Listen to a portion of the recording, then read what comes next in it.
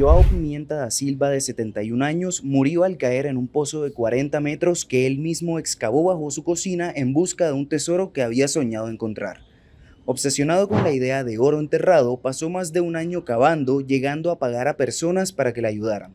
Su empeño se intensificó después de recibir un mensaje en un sueño de un espíritu que le indicaba la presencia del tesoro debajo de una roca en su propiedad. A pesar de los riesgos advertidos por vecinos y amigos, Joao continuó la excavación, incluso considerando el uso de dinamita para extraer una gran piedra. La tragedia ocurrió el 5 de enero cuando perdió el equilibrio y cayó, sufriendo graves lesiones. Aunque los bomberos fueron alertados, no pudieron salvarlo.